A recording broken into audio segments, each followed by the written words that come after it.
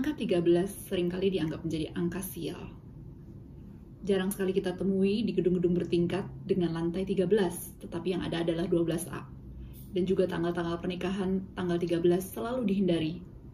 Why oh why? Mari kita bahas.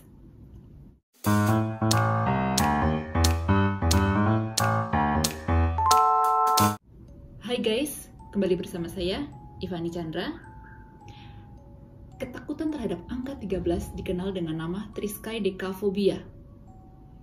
Di Amerika, 9 sampai 10% orang mengalami fobia ini, fobia terhadap angka 13. Angka 13 memang dianggap sebagai mitos, sebagai angka sial. Tetapi sebenarnya apa sih yang mendasarinya? Ternyata banyak insiden-insiden yang mendasari sehingga orang berpikir bahwa angka 13 ini memang angka sial. Insiden yang memicu kepercayaan ini antara lain adalah peristiwa Apollo 13 yang merupakan hari gagalnya misi pendaratan di bulan oleh negara adidaya. Kegagalan disebabkan meledaknya tangki oksigen pada tanggal 13 April 1970 membuat kru yang ada di darat dan penerbangan harus melewati sejumlah hari yang intens dan sulit. Untungnya, para astronot yang terlihat dalam misi itu berhasil selamat. Tetapi tetap saja, hari itu menjadi hari yang bersejarah dan dianggap menjadi hari yang sial. Salah satunya karena hari itu tepat jatuh di tanggal 13. Tragedi lainnya juga terjadi pada Columbia Space Shuttle yang berangkat ke luar negeri tanggal 16 Januari 2003 tidak seperti Apollo 13 di mana awak kapal awak pesawatnya itu masih bisa selamat. Berbeda dengan Columbia Space Shuttle, semuanya mati, semuanya wafat karena memang betul-betul meledak. Mereka kembali ke bumi pada tanggal 16 Januari 2003. Memang sih bukan tanggal 13, tetapi saat tanggal 16 Januari 2003 itu kalau dijumlahkan 1 tambah 6 tambah 1 tambah 2 tambah 0 tambah 0 tambah 3 itu jumlahnya pas 13 angka 13 angka sial. Benarkah? Hey guys, bahkan sekelas Microsoft juga percaya bahwa angka si angka 13 adalah angka sial. Microsoft itu hanya membuat version sampai 12 itu Microsoft Office 2007 lalu kemudian lompat ke Microsoft versi 14 di mana Microsoft Office 2010. Jadi, kelas Microsoft pun mendingan menghindari si angka 13 ini. Lalu, kenapa sih angka 13 dianggap sebagai angka sial? Memang menurut numerologi, angka 13 ini adalah angka sial dari semua angka yang paling sering muncul. Tetapi sebenarnya kita tidak perlu cemas juga, karena ada opini-opini lain yang mengatakan bahwa angka 13 itu adalah angka yang menggambarkan uh, kepemimpinan. Jadi eh, orang-orang besar di dunia juga memiliki tanggal lahir tanggal 13. Orang yang memiliki tanggal 13 lahir tanggal 13 pun katanya itu memiliki pribadi yang misterius, memiliki pribadi yang susah ditebak dan memiliki karakter pemimpin yang kuat. Iyakah? Apakah kalian punya guys temen yang lahir di tanggal 13 dan karakternya seperti itu? Punya nggak? Saya belum kepikiran. Nah, ini ada yang menarik nih guys. Ternyata kalau diperhatikan secara seksama simbol Amerika Serikat, kita akan melihat nomor 13. Jadi banyak angka 13 di dalamnya. Jadi ada 13 daun, 13 bintang, 13 biji jaitunnya, dan 13 anak panah. Wow, jadi sebenarnya 13 itu angka sial bukan? Kalau misalnya 13 itu angka sial, nggak mungkin ya Amerika e, negara besar di dunia menggunakan banyak angka 13 pada simbolnya.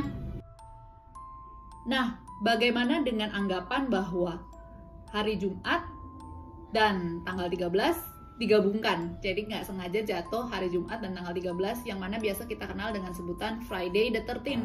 Ternyata itu adalah kombinasi yang sangat uh, mematikan kombinasi yang membuat kayaknya hari itu adalah hari yang sial dan tentu saja ada insiden-insiden yang melatar belakangi kenapa orang berpikiran bahwa hari Jumat dan tanggal 13 kalau jatuh berbarengan adalah kelar lah hidup lo ya. Nah, apa saja sih peristiwa kelam yang terjadi pada tanggal 13 hari Jumat misalnya saja 13 September 1940 pada masa itu masih adalah zaman Hitler di mana Nazi berhasil meledakkan 5 bom di dalam Buckingham Palace di Inggris.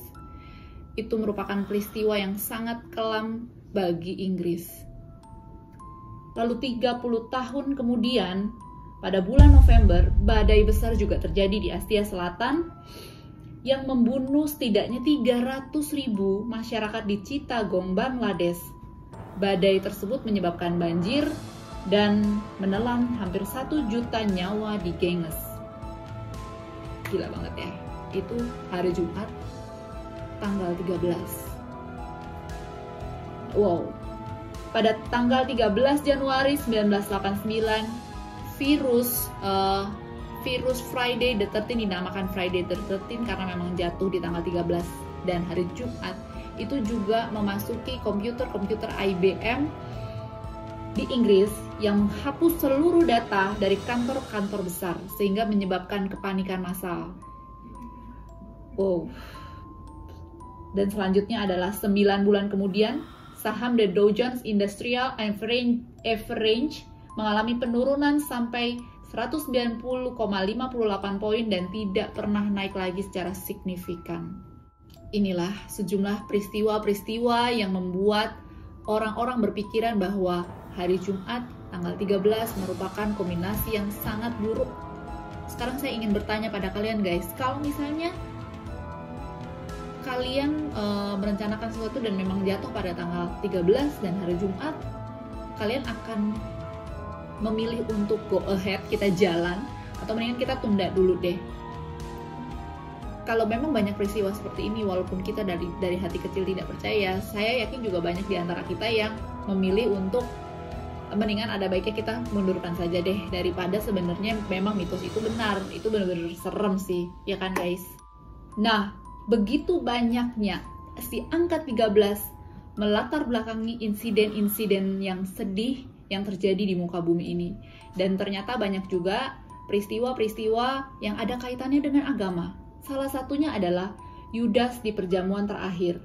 Jadi di perjamuan terakhir Yesus Kristus itu dikisahkan ada 13 orang yang hadir. Dan orang ke-13 adalah Yudas yang mana dia adalah orang yang menyerahkan dan mengkhianati uh, Yesus Kristus memberi imbalan 30 keping perak untuk menyerahkan Yesus Kristus ke tangan uh, pemerintahan untuk cerita mitologi Nordik di mana 12 dewa sedang makan-makan dengan enaknya tiba-tiba ada dewa ke-13 yang datang dan mengacaukan, yaitu dewa Loki, dewa yang uh, terkenal sebagai dewa tipu muslihat, dewa iseng, itu datang dan memporak-porandakan acara makan-makan uh, para dewa-dewa.